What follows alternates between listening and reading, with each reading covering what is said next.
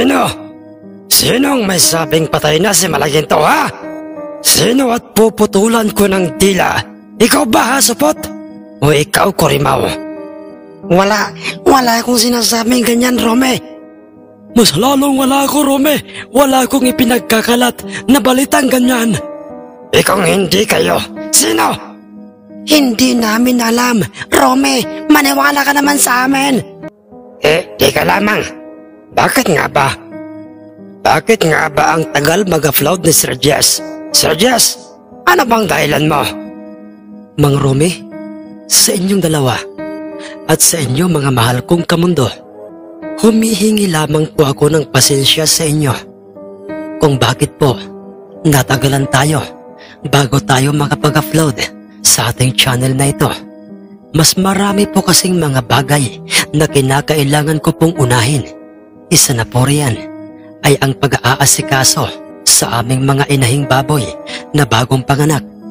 Ganoon pa may, mga mahal kong kamundo, sana po ay nasa mabuti kayong kalagayan saang lugar man po kayo naroroon sa mga pagkakataong ito.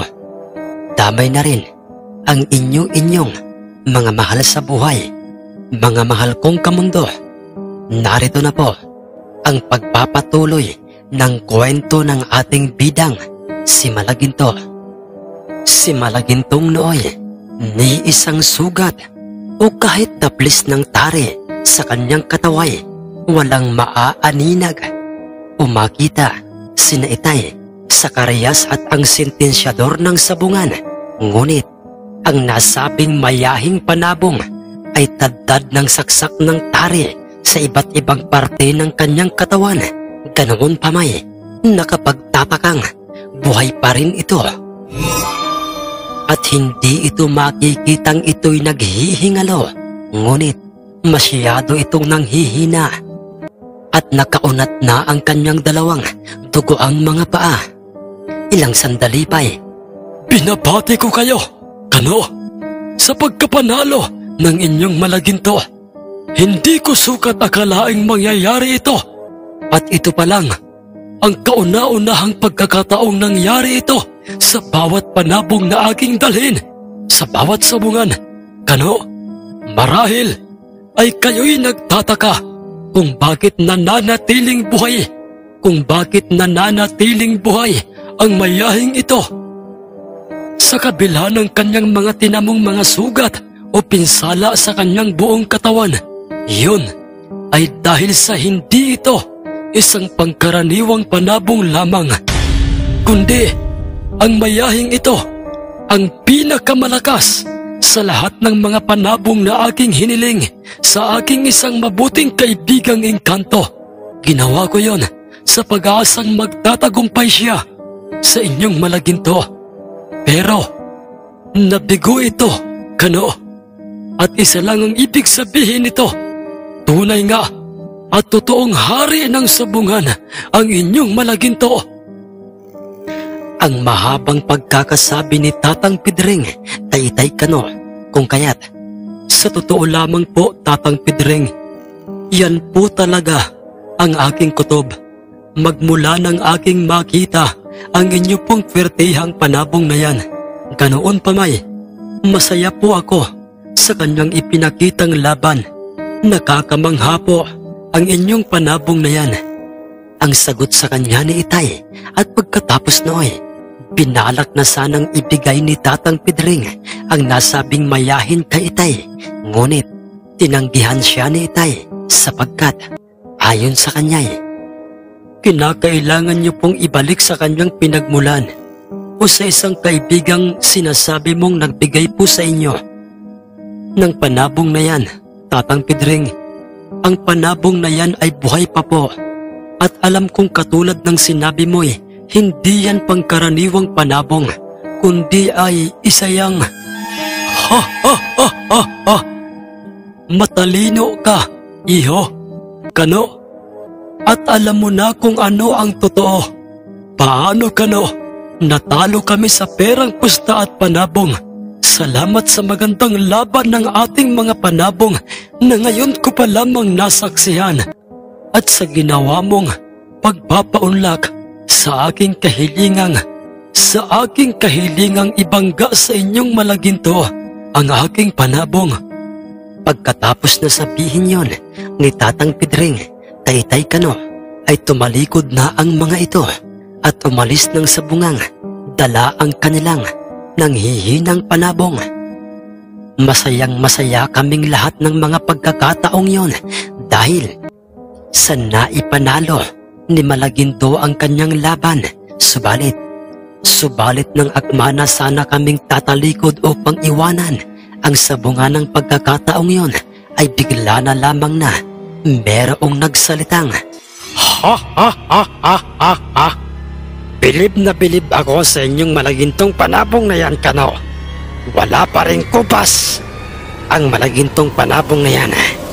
Sa halip ay habang tumatagal ay mas lalo pa yang nagiging isang nakakamanghang panabong. Ha ha ha ha ha! Sabay-sabay kaming lahat na napalingon sa kung sino mang nagmamay-ari ng boses na yon at doy. Te, teka lamang, I- ikaw? Ako nga, Ambrosio. Ha ha ha ha ha! Kumusta ka na kaibigan? At, hmm, Gaston? Matagal-tagal na panahon tayong tatlong hindi nagkita. At ikaw, Terso de la Rebalias ka no?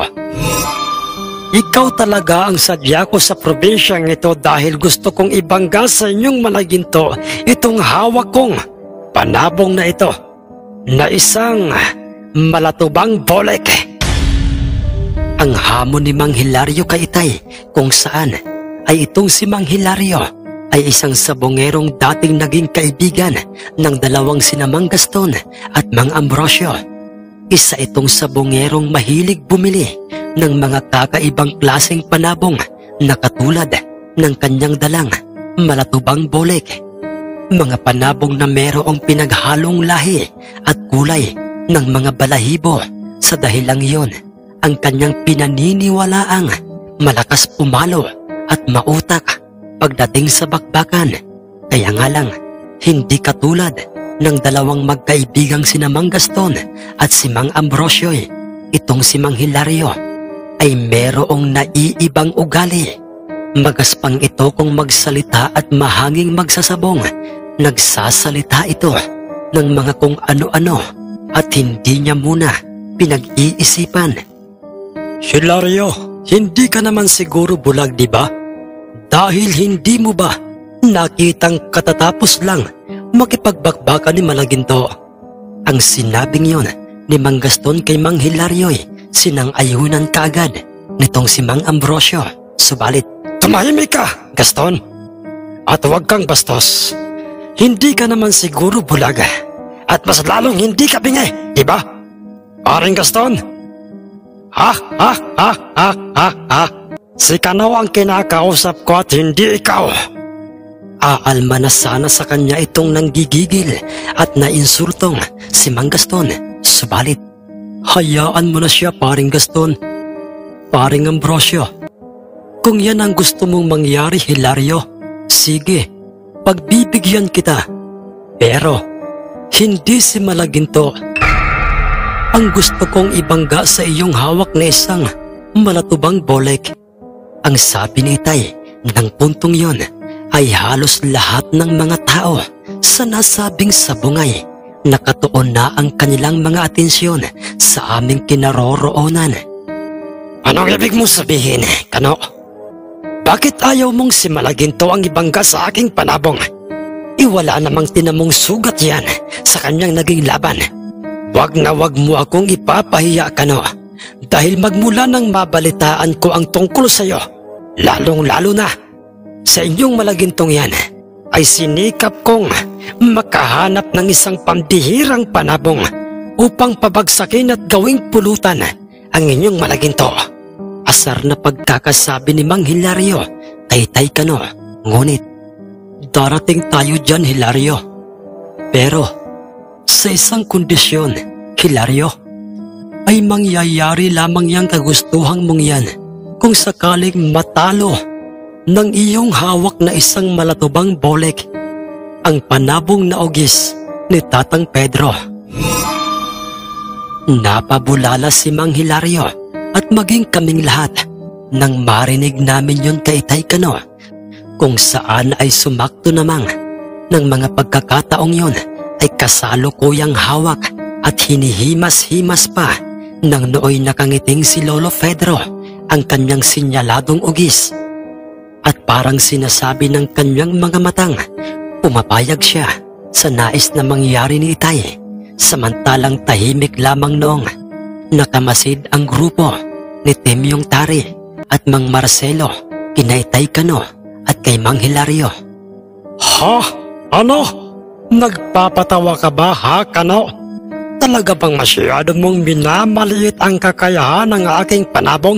Pwes, sige, pagbibigyan kita upang hindi ka naman mapahiya sa mga taong nasa sabungang ito.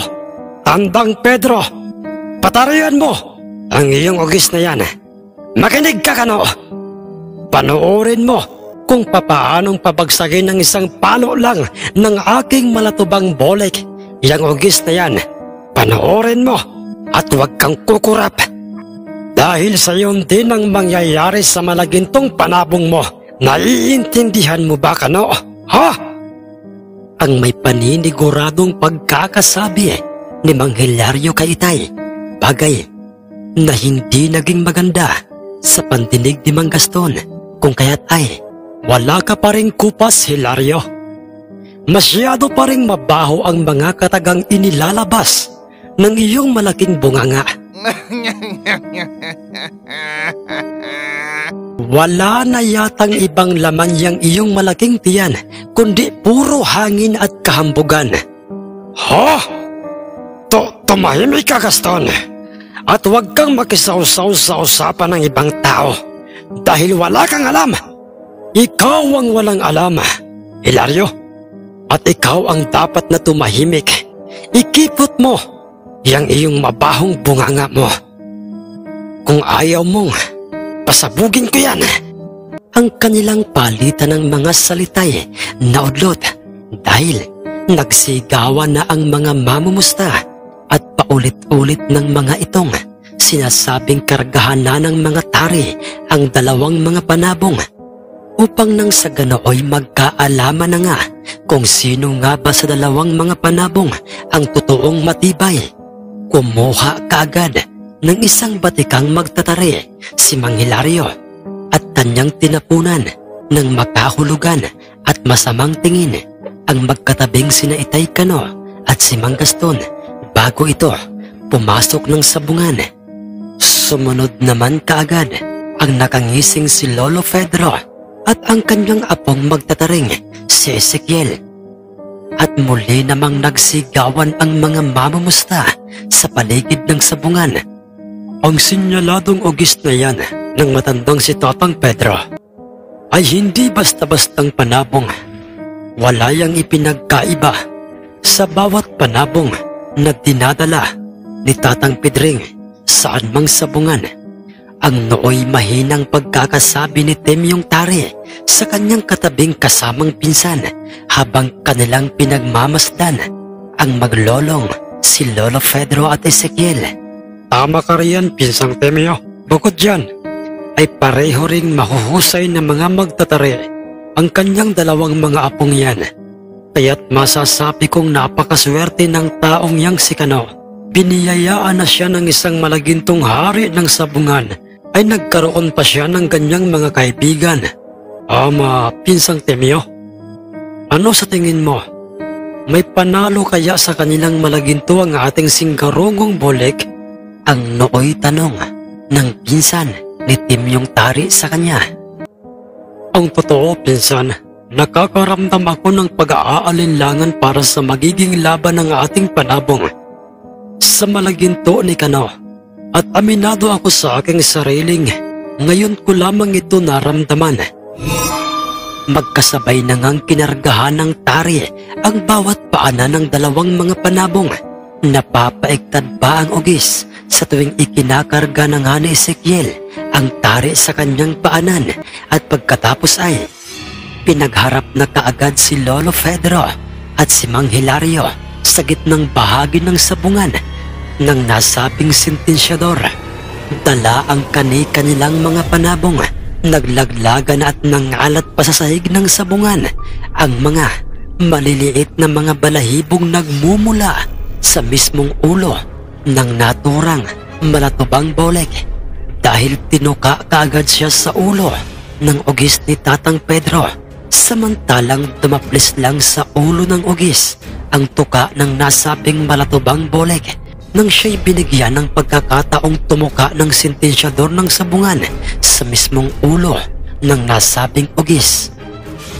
Panoorin mo, Tatang Pedro, kung papaanong wasakin ng kargadang tari ng aking malatubang bolek ang katawan ng inyong ugis na yan. Ha? Ha? Ha? Ha? Ha? Ha? Ang hambog na pagkakasabi ni Mang Hilario kay Lolo Pedro. Subalit, ngumisi lamang sa kanya si Lolo Pedro. Ilang sandali pa'y magkasabay na nga nilang binitawan ang dalawang panabong sa mismong gitnang bahagi ng sabungan. Tumayong brusko at tuwid na tuwid ang nasabing ugis ni Lolo Pedro at hindi ito gumagalaw nang sumayad na sa lupang sahig ng sabungan ang kanyang dalawang mga paa. Samantalang ang nasabing malatubang bolek ay bumuelo kaagad at lumipad papalapit sa ugis ni Lolo Pedro. Pinalo niya ng pinalo ng sunod-sunod ang ugis. Ang nasabing ugis na nooy, puro pag-iwas lang, papalayo sa nasabing malatubang bolek ang kanyang ginagawa. Hindi ito gumaganti ng pagpalo sa kanyang katunggaling panabong. Subalit, parang ito'y kumukuha lang ng magandang pagkakataon. Bigla na lamang tumilapon sa gilid ng ruweda ang ugis ni Lolo Pedro. Dahilan upang humalakhak na si Mang Hilario at parang sinasabi nitong panalo na ang kanyang panabong. Subalit pagtayo ng ugis ay bigla na lamang itong lumipad. Papalapit. Sa nooy, nasa ereng, malatubang bolek. Tatlong palo ang kanyang ibinaon at iniwan sa katawan ng malatubang bolek. Bago ito, bumagsak sa lupang nasa gilid ng ruwayda na iwan sa ere ang malatubang bolek. Ngunit pagbagsak nito sa lupay, nag-aagaw buhay na ito sapagkat winasak ng ugis ang kanyang dibdib. Maging ang kanyang ulo ay binasag ng kargadang tari ng ugis. Damay na ang kanyang kaliwang hita. Tuguan na itong nangingisay-ngisay at naglabasa na ang kanyang mga bituka sa kanyang katawan. Nagsigawan ang lahat ng mga mamumustang pumusta sa ugis ni Lolo Pedro samantalang si Mang Hilario eh. Ha! Oh! Hindi maaari ito! Papaanong nangyari ito? Kamot ulo at nagmistulang tinupi-tuping lata ang hitsura ni Mang Hilario nang sabihin niya sa kanyang sarili ang mga katagang iyon. Hanggang sa tuluyan na ngang binawian ng buhay ang nasabing malatubang bolek kung kaya't idineklara na nga kaagad ng sentensyador ng sabungang panalo ang nooy ni isang sugat sa kanyang kataway. Walang mahagilap ang sentensyador ng sabungan sa nasabing ugis na panabong ni Lolo Pedro. Masyadong sumobra ang tiwala mo sa iyong sarili at sa iyong panabong iho, Hilario. Hindi lamang yon. Masyado mong minaliit ang lahat ng mga panabong na makita mo. Kaya yan ang nangyari sa iyong panabong. Ang sabi ni Lolo Pedro Sanoy, nagmistula ng batang uhoging si Mang Hilario at naging panaag na ito ng matinding kahihiyan at pagtataka sa nangyaring pagkatalo ng kanyang panabong. Tama at totoong lahat ang mga sinabi sa iyo ni Tatang Pedro Hilario. Dahil papaano natalo ang iyong panabong sa ugis ni Tatang Pedro. Ang sabi naman sa kanya ni Itay o kay Mang Hilario, subalit Diyan ka nagkakamali ka no. Dahil meron pa akong ibang panabong na gusto kong ibangga sa iyo. Inis na pagkakasabi ni Mang Hilario kay Itay nang biglang. Tama na. Tama na ang mga kahambugan mo. Masasayang lang ang iyong perang pusta at mauubos lang yung mga sinasabi mong mga panabong dahil mga walang kwenta ang mga panabong mo. Huwag ka namang abusado, Hilario. Hindi ba't yan ang pangalan mo? Tapos na ang usapan yun ni Kano. Kaya naman ay tumahimik ka na. Nakakasagabal ka. Ang biglaang singit na pagkakasabi ng Noy, hindi na nakapagpigil pang si Mang Temyo. I- ikaw? I- ikaw si... Ang nauutal na pagkakasabi ni Mang Hilario. Oh, ako nga. Kaya naman Hilario pakiusap Hilario. Itigil mo na ang kahibangan mo. Nagsasayang ka lang ng oras at panahon. Wala na ngang nagawa pa si Mang Hilario dahil matapos na sabihin yon sa kanya ni Temyong Tari at maibigay kina Lolo Pedro ang kanyang wala ng buhay na panabong ay nakayuko na nga itong tumalikod at umalis ng sabungan. Ang taong mapagmataas sa kanyang kapwa at hambog ay kahihiyan lang ang magiging bunga noon sa kanya. Ang mahinang pagkakasabi ni Lolo Berhil. Sige na, kano, sa inyong lahat. Papagpahingahin nyo na at ihanda ang inyong malagintong yan para sa magiging laban niya sa aming singgarongong bolek. Ang nooy sabi pa ni Temyong Tari Kaitay. Maraming maraming salamat sa iyo, Temyo. Kung hindi sa mga salitang sinabi mo eh, baka nagpatuloy pa rin sa pangungulit sa akin si Hilario. Ang sabi ni Itay kay Temyong Tari. Ayos lamang yun, Kano. Paano? Sabik na akong dumating ang araw ng paghaharap ng ating mga panabong. Ang sabi ni Mang Temyo kay Itay, Pareho lamang tayo, Temyo. Maging ako may, yun din ang nasa isip ko. Muli po mga mahal naming kamundo, maraming maraming salamat po sa inyong ginawang pag-comment, pag-like at pag-share sa ating mga nakaraang upload. Maraming maraming salamat po. Nais ko lamang pong pasalamatan at shoutout si Tropa TV Vlogs at ang Ubina Family. Salamat po kay Boss Melchor Recta, kay Boss Jana Agustin, kay Boss Henry Tamigin ng Davao City, kay Boss Jiffy TV Vlogs na palagi pong nakikinig sa atin dyan sa Fairview. Maraming maraming salamat po sa inyo, boss. Kay Boss Tony Villaruel, Maraming maraming salamat po boss. Nais ko lamang pong i-shoutout si Boss RJ Vlogs. Boss maraming maraming salamat po sa inyo. Kay Boss Fernan Nadera ng Pagsanhan Laguna. Boss maraming maraming salamat po. Kay Boss Bro Rex TV. Boss maraming maraming salamat po sa inyong suporta.